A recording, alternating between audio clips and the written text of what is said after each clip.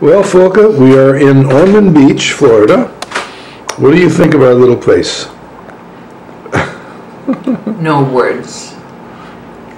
Well, it's like a sea cabin, right? Like Hilton Head Sea Cabin, for you kids that know what that is. No, Sea Cabin had a balcony. Sea cabins on the ocean had balconies, that's true.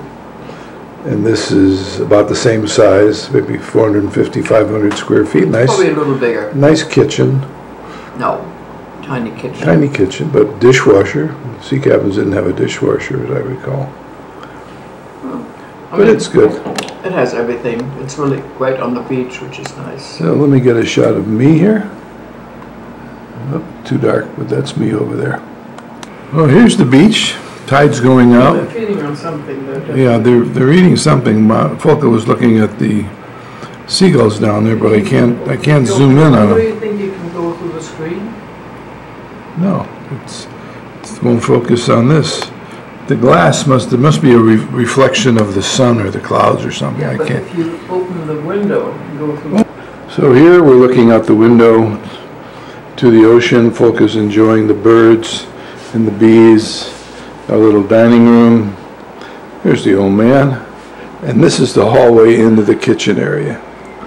And behind the mirror is the bedroom. Just north of Miami with the latest there.